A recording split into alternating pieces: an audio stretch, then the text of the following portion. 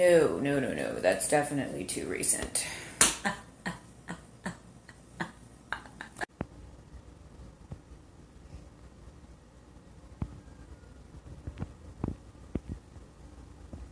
I'm really, really, really bad at math and numbers and stuff, so you have to send me dates. I can't figure that out. This is actually very close. It's not right, but I'm giving you all a hint. Close. We have a winner. Now, did this winner send in every date? Yes. Do they still win?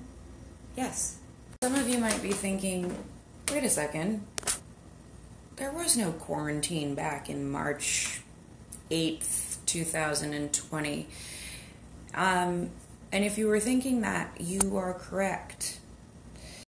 I just, uh, I already don't wash my hair very often. Um, if you speak to hairstylists, they say it's a great idea.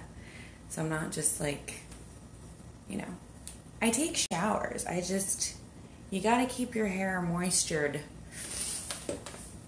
But then the quarantine happened and just the motivation to do any of that stuff started to just evaporate. So, anyways, we have got a winner. Um, I'm going to put their handle right here. So the prize, it's um, it's a couple things. We've got um, some flowers for you. I just picked them, and they're for you.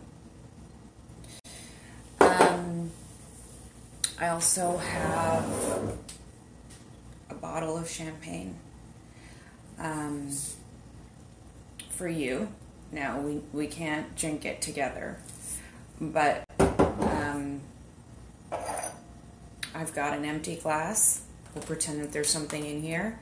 Um, in the same vein as that nice Italian man in that video we all saw. I'm going to cheers you. Here's to us. Here is to all of us.